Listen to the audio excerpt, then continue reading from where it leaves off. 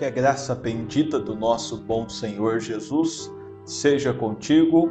Mais este dia que começamos, essa terça-feira, dia 8 de setembro, né? Passando este final de semana, passando este feriado, nós estamos prontos para voltar aí ativa, né, aos trabalhos, à vida normal de novo, né? Tenho certeza que muitos puderam aproveitar novamente um pouco dessa flexibilização que foi dada, mas reiteramos isto, né? Faça você faça isso com consciência, sabendo que isto ainda não acabou, é necessário cuidados, é necessário estar aí atento ainda para as normas estabelecidas, né? Por mais o ruim que seja seguir isso, por mais que isso limite muitas coisas nossas, mas eu creio que é necessário ainda é muito cuidado nessas horas, né?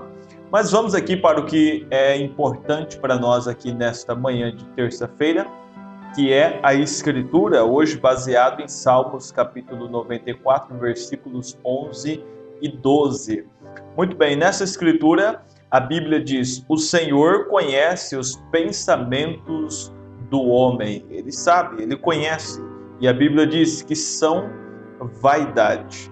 Bem-aventurado é o homem a quem tu castigas, ó Senhor, e a quem ensinas a tua lei. Bem-aventurado é o homem a quem tu castigas, ó Senhor, e a quem ensinas a tua lei. E para completarmos o nosso devocional, lembrando que sempre fazemos duas leituras, né? A primeira leitura bíblica, é, trazendo um contexto, nos mostrando uma direção do devocional, e em seguida também uma citação da mensagem. Lembrando que este devocional que fazemos aqui com você faz parte do livro O Altar da Família. Ele foi é, elaborado, montado por um pastor ali do Canadá. Ele reuniu então aqui é, o pastor Timothy Dodd, né? E ele reuniu então aí essas escrituras, colocou elas em um livro e os irmãos aqui da editora A Mensagem estão comercializando então este livro, né? As, os sites deles passam aqui no vídeo, você pode acompanhar aí, ou também na descrição do vídeo está aí é, o site para que você possa acessar, ver este e outros materiais, assim também como o site da Igreja Tabernáculo da Fé de Goiânia, dos irmãos ali dos crentes da Bíblia também, que disponibilizam muitos materiais também que podem te ajudar nesta sua jornada em direção ao céu. Muito bem, para a nossa citação então aqui hoje da mensagem, nós vamos para a mensagem A Fé de Abraão, pregado dia 18 de novembro de 1955.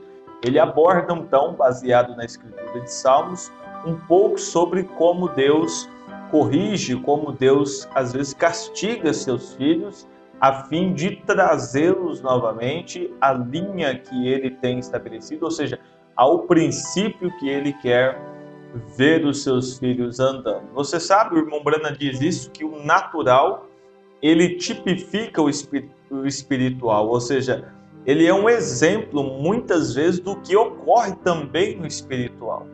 Se você vê e tem visto, creio que na tua família talvez possa existir isso, um pai ou uma mãe que cria seus filhos é como se eles fossem reis, né, dentro de casa, permitem que eles que ele faça o que ele quer, que ele é, é, é caminhe do jeito dele, não impõe limites, não mostra que há uma autoridade dentro da casa, né?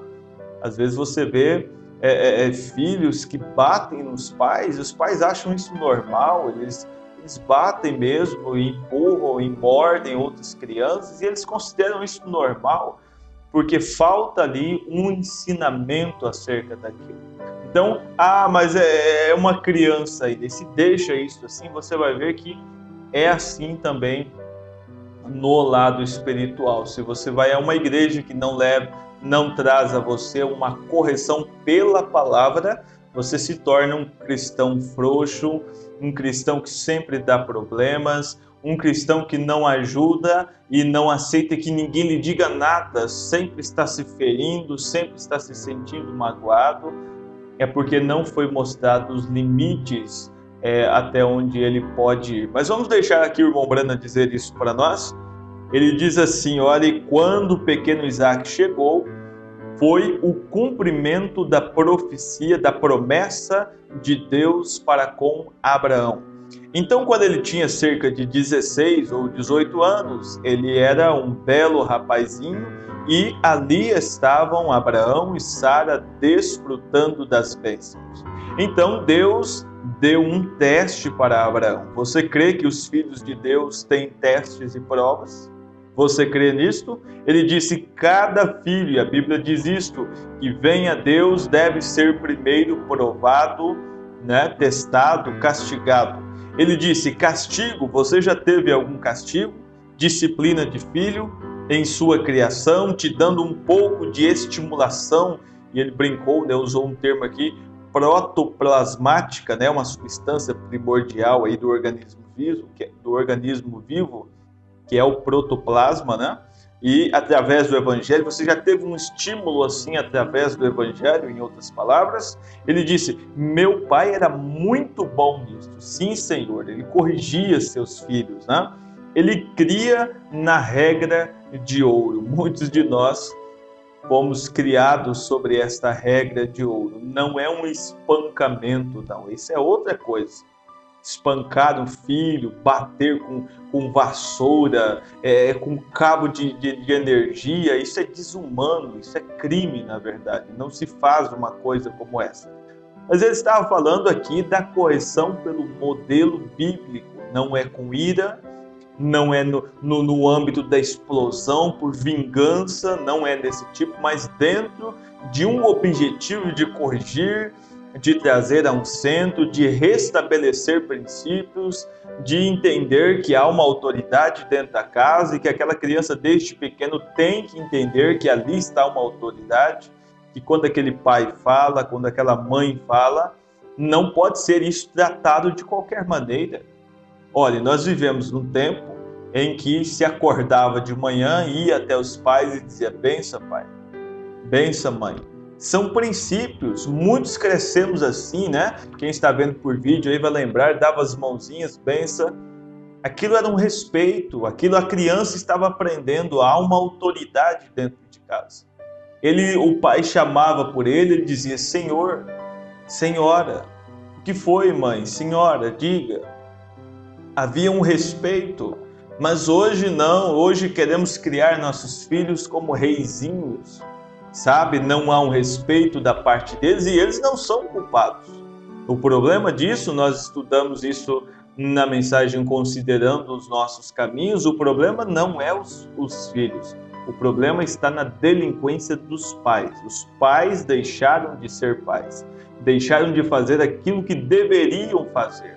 Então, hoje ainda acham isso bonito, mas um amanhã próximo, em um futuro próximo, se essas ações não forem mudadas, eles sentirão que é, erraram, eles vão colher os frutos desse tipo de educação que o mundo inteiro, isso não é conversa apenas de cristãos, não, de pastores, ah, isso é, é baseado, não, não, isso é a ciência, tem que haver um limite. Se você não impor esses limites agora, você sofrerá depois. Mas vamos ao nosso assunto.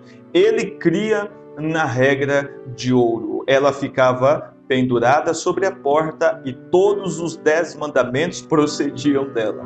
Era uma vara de nogueira deste tamanho, com galhos saindo na ponta dela, e lhes digo que isto fazia com que houvesse disciplina no lar dos Branas. Né? Houve na minha casa, na sua também, né?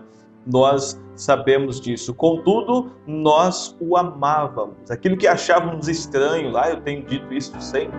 Às vezes você não entendia por que, tua mãe queria você para dentro de casa cedo, você não entendia por que, ela não deixava você se aproximar de certas amizades, mas hoje você, como um chefe de casa, entende, compreende, sabe, aquilo não era ruindade, aquilo não era chatice, aquilo era proteção dela.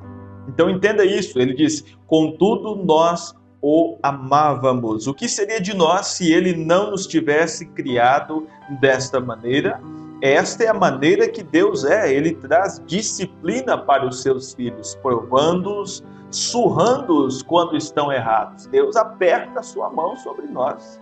Ele diz: Estou feliz por meu Pai Celestial dar uma surra naqueles que estão errados e me corrigir quando eu estou errado. Deus faz isso, ele não quer você fora da linha, ele não quer você desrespeitando o teu vizinho de banco aí da igreja, o teu auxiliar, o teu pastor, o teu diácono, o teu tesoureiro, o teu administrador, teus irmãos, tua família. O filho que começa a levantar a voz contra seu pai, logo Deus vai ter um tratamento com ele. Deus não aceita isto. Então ele diz: olhe, e me corrigir quando estou errado, por me dar uma surra para fazer com que me endireite para caminhar como se deve caminhar. Ele vai te testar ou vai dar-lhe provas, pois cada cristão tem que ser provado. Pedro disse: Amados, não estranheis a ardente prova que vem sobre nós, sobre vós, para vos tentar, pois é para provar a vossa fé, que é muito mais preciosa do que o ouro. Vejam, às vezes, quando vocês ficam doentes, porque os justos. É, vejam, às vezes, quando vocês ficam doentes, por que o justo sofre? É uma pergunta que muitas pessoas têm feito. Por que, que os justos sofrem? Eu desejaria que tivéssemos uma noite para pregar a respeito disto, de como faz isto para, de como Deus faz isto para a sua própria glória. Daí então se volta e cura a enfermidade, e a partir dali começa um testemunho. Deus tem tudo sob teu controle. Ele diz: Amém. Deus é maravilhoso. Agora Deus o chamou e disse: Abraão, por pai de muitas nações te tem posto. Tiveste um menino e esperastes 25 anos por ele, e ele cresceu e agora é um rapaz. Então agora quero que o tomes e o mates e o coloque no altar de sacrifício e sacrifique-o. Estava fazendo o quê? Fazendo dupla a confiança, fortalecendo duas vezes mais o juramento. Ô oh, irmão, como é bom você saber que Deus cumpre o que ele promete. Ele estava fazendo dupla a confiança, fortalecendo duas vezes mais o juramento, fortalecendo duas vezes mais a fé de Abraão. Abraão questionou a Deus? Não, Senhor. Deus já tinha dito, ele estava seguro nisto. Deus já tinha dito que ele seria pai de muitas nações e ele creu em Deus. Que você creia que Deus tem um modelo correto para se criar o filho, Deus tem um modelo correto para se criar a família, e se você ficar sobre o modelo de Deus, Deus cuidará de todas as coisas. Vamos orar, nosso eterno Deus e nosso amado Pai Celestial. Se estamos errados, ó Deus, em alguma coisa, nos corrija, Senhor. Nos traga ao centro do caminho, não queremos andar errado. Queremos ter nossos olhos abertos para, Senhor, ver o caminho, ver a tua palavra e andar sobre a luz da tua palavra. Cure, Senhor, os que precisam ser curados. Liberta, Senhor, os que precisam ser libertados também. E que esta enfermidade que ainda está presente no mundo possa manter-se cada dia mais distante desses ouvintes, cada dia mais distante dessas famílias e que o Senhor cuide de cada um aqui em nossa cidade, até onde estes áudios e vídeos estão chegando e que isso seja dissipado do mundo, Senhor, e que as pessoas entendam, ó Deus, o quanto tu és maravilhoso, o quanto o Senhor tem perdoado, o quanto o Senhor está pronto para recebê-los, ó Deus, que eles percebam que este chacoalhão que o mundo sofreu que isso é um alerta de que a hora da sua vinda se aproxima e que nós precisamos estar prontos. Deus, guarde teus filhos, nós pedimos em nome de Jesus Cristo que tenhamos uma terça-feira abençoada por ti. É o meu desejo, a minha oração. Amém, Senhor. Amém.